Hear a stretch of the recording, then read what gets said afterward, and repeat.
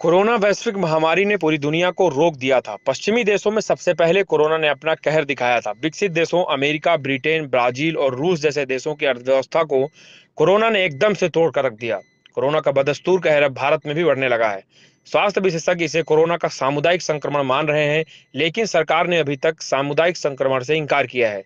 Bharat corona का नया hotspot बनकर उभर रहा है। देश में सामने आने वाले मामलों की प्रतिदिन संख्या पचास हज़ार को पार कर रही है।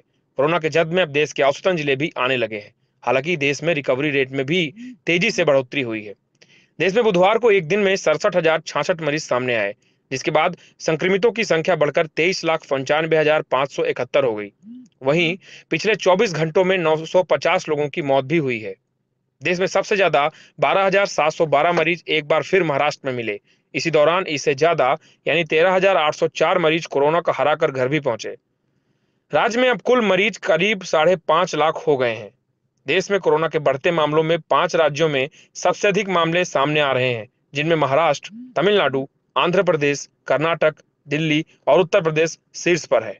हालाँकि इन राज्यों में रिकवरी रेट में भी बढ़त देखने को मिली है लेकिन वह समय ही बताएगा कि भारत को कोरोना से कब तक मुक्ति मिलेगी।